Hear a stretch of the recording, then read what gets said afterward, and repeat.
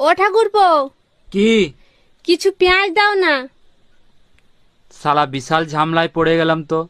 এইদিকে ঝুমা বৌদি পেঁয়াজ চাইছে আর ঘরে বউ পেঁয়াজ গনে রেখে গেছে।